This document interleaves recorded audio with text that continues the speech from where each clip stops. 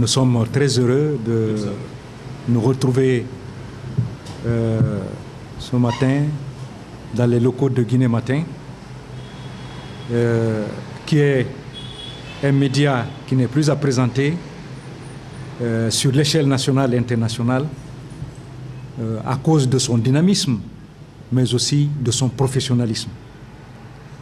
Et ça, il faut le reconnaître comme on le dit, même si tu n'aimes pas le chien, mais il faut reconnaître quand même que ces crocs sont blancs.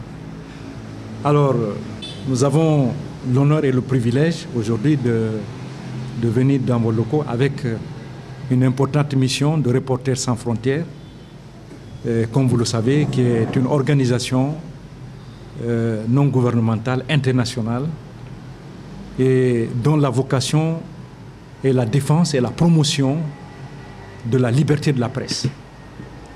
Et puisque nous sommes des journalistes, il va sans dire que euh, ce que Reporters sans frontières fait nous intéresse, nous, concerne, n'est-ce pas, et nous interpelle.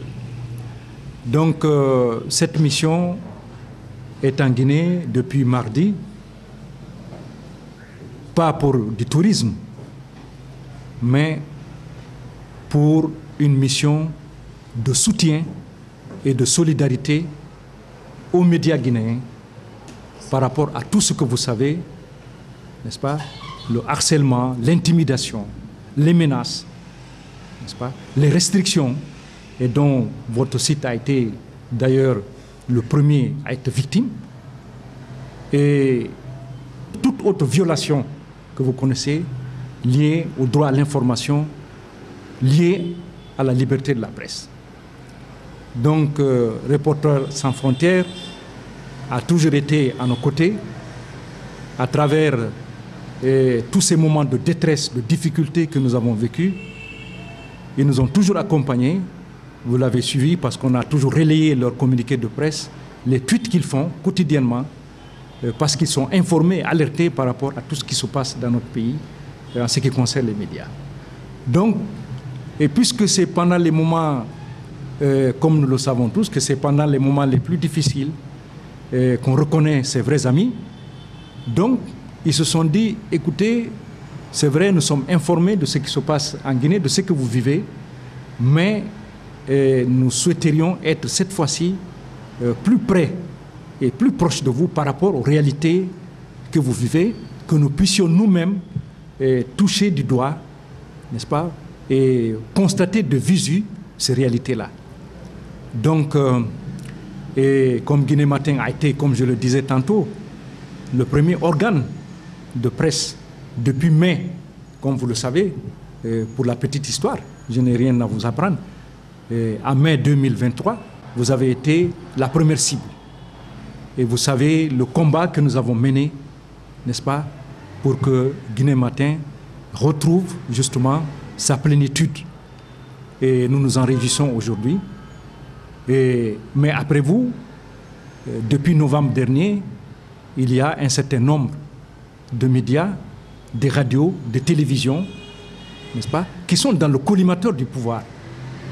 Et les radios sont brouillées, des chaînes de télévision sont décrochées, des bouquets Canal Plus et Star Times, et cela constitue euh, une violation grave, n'est-ce pas, de la liberté de la presse, du droit à l'information, hein, et qui est un droit fondamental pour tout citoyen. Donc, euh, cette mission est conduite par euh, Sadibou Maron, le responsable du bureau Afrique subsaharienne de Reporters sans frontières, basé à Dakar. Il est accompagné euh, par Jeanne Lagarde, qui est chargé du plaidoyer, n'est-ce pas, pour ces médias, pour les médias que nous sommes, pour les journalistes que nous sommes, par rapport à tout ce que euh, nous vivons dans l'exercice de notre métier. C'est toujours un, honneur de venir ici. Je pense que c'est la deuxième ou la troisième fois ces dernières années. Euh, mais aussi de vous apporter notre solidarité. Nous étions très conscients de ce qui était arrivé à ce site, euh, à ce média indépendant, ce site d'information indépendant, qui parle aussi bien de la Guinée, des nouvelles, qui donne aussi bien des nouvelles de la Guinée profonde, mais des nouvelles de la Guinée entière, mais également de l'Afrique et du monde.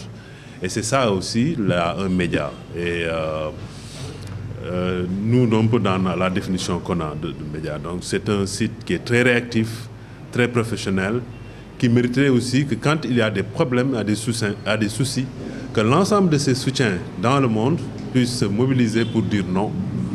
On était très loin, mais nous, était, on était en contact à plusieurs reprises avec, avec nous, aussi bien dans les technologies que nous avons du point de vue de notre, euh, des moyens du bord, mais aussi bien dans les mobilisations que nous avons pu faire à travers nos sections dans le monde pour en parler euh, dans les relations bilatérales entre les non-sections euh, internationales et la Guinée, mais également dans les grandes organisations, les grandes réunions où soit c'était moi ou euh, d'autres membres de notre pôle plaidoyer euh, ou même de notre secrétaire général pour parler un peu de cette situation. Parce qu'il était inadmissible quand même qu'un site aussi digne d'intérêt, aussi intéressant, important, qui s'est fait pratiquement seul, qui est parti de rien. Nous, on a vu un peu les débuts de, de Guinée Matin, euh, qui, à force de persévérance, de résilience, a pu atteindre un peu ce niveau-là. Et paf, un bon jour, on se rend compte que bof, ce n'était pas accessible. Et ça impacte effectivement les médias, parce qu'on connaît comment les médias vivent.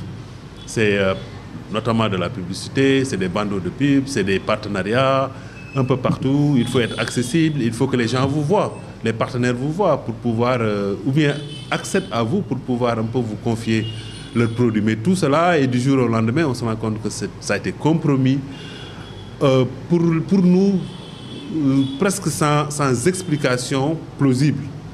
Moi, chaque fois, j'étais, je, je, demandais des informations aussi, mais je sais que jusqu'à aujourd'hui, peut-être, il va être encore très compliqué de nous donner un peu les, les véritables raisons, si ce n'est véritablement une volonté un peu de faire taire des voix indépendantes, des voix probablement considérées comme dissidentes. Et en faisant en faisant taire ces voix-là, probablement derrière, il y avait une volonté de contrôler leur narratif, ce que moi, euh, je ne vois pas en vous qui êtes en face de moi en tant que journaliste. Je n'ai jamais vu en nous comme quelqu'un qui va accepter que son narratif puisse continuer, que je ne vois pas en votre directeur de publication. On a décidé de se déplacer, ça fait quelques mois déjà qu'on y pense, depuis notamment novembre quand on a vu que les chaînes d'information, enfin trois chaînes d'information et quatre radios ont été brouillées, que Internet a été, enfin les réseaux sociaux, l'accès aux réseaux sociaux était difficile. donc on pensait déjà venir en soutien aux médias. Euh, et puis euh, là récemment, ce qui était intéressant aussi, c'était de voir euh, un peu les membres du nouveau gouvernement pour justement remettre sur la table ces questions-là et leur soumettre nos recommandations en tant que RSF après s'être concerté avec les, les médias, notamment ceux qui ont été victimes de brouillage. on a pu un peu discuter avec eux et privilégier voilà, un dialogue pour euh, mettre un terme à cette situation qui dure depuis novembre maintenant, euh, qui n'est pas euh, totalement nouvelle parce qu'en mai dernier, déjà on avait vu qu'il y avait quelques atteintes à la liberté de la presse, sans précédent depuis l'arrivée au pouvoir des nouvelles autorités. Avec notamment l'inaccessibilité la, de plusieurs sites d'information, dont Guinée Matin d'ailleurs.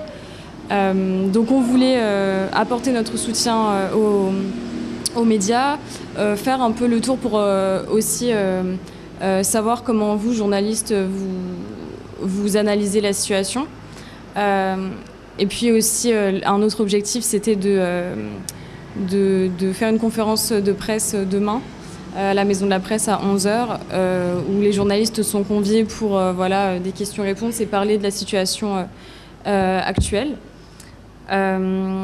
Et puis on voulait également donc euh, apporter notre, euh, euh, notre soutien aussi, enfin visiter aussi votre, votre rédaction, parce qu'on a vu effectivement, comme l'a rappelé Sadibou, que le site avait été suspendu pendant, il me semble, quelques mois, trois mois, ouais, en août, sans aucune raison manifestement. et puis RSF avait aidé à mettre en place un site miroir qui permettait de se connecter, de se connecter sans l'aide d'un VPN. Alors honnêtement, on vous remercie très sincèrement. On n'a pas euh, les mots justes pour vous traduire le sentiment de satisfaction qu'on a euh, pour toute votre aide depuis ce qui, ce qui s'est passé là, depuis le début de euh, cette euh, restriction, parce qu'avant même la mise en place de ce site miroir, vous nous avez soutenu. Moralement, on en avait besoin pour tenir. Il fallait savoir que qu'on était soutenu. Et la vérité, c'est que on est obligé de le reconnaître. C'est le site miroir qui nous a permis de ne pas sombrer, de ne pas euh, mourir, de ne pas lâcher prise. Malheureusement, jusqu'à présent, on n'en sait absolument rien. C'est quoi le problème? Qu'est-ce qu'on a fait pour avoir ça? On ne sait pas. Et même qu'est-ce qu'on a fait pour qu'on libère le site? On ne sait pas. Qui l'a bloqué? Qui l'a libéré? Pour quelle raison il a été bloqué? Et pour quelle raison il a été débloqué, on n'en sait rien. Je sais que effectivement, on vous a euh, quelque peu dérangé chaque fois, c'est des messages et quelquefois même des appels pour demander euh, de l'aide, puisque justement, on sentait qu'au niveau interne, c'était euh, presque verrouillé, c'était compliqué.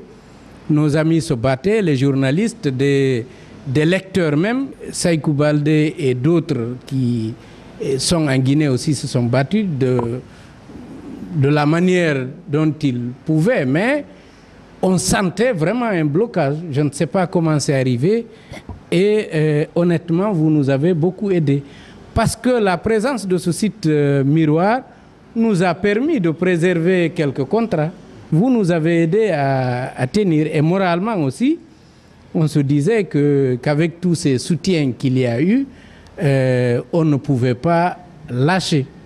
Et je remercie aussi mes collègues de travail, les journalistes, qui ont tout subi, mais qui ont accepté. À l'interne, on a bénéficié beaucoup de soutien, beaucoup de soutien qu'on ne peut pas euh, euh, dénombrer, mais certains, nous avons l'obligation de le dire et à des amis comme Reporters sans frontières. C'est le, le, syndicat des journalistes professionnels de Guinée qui a fait vraiment de son mieux pour nous aider, pour nous accompagner, pour nous épauler, pour faire porter notre voix à des endroits vraiment euh, spécifiques.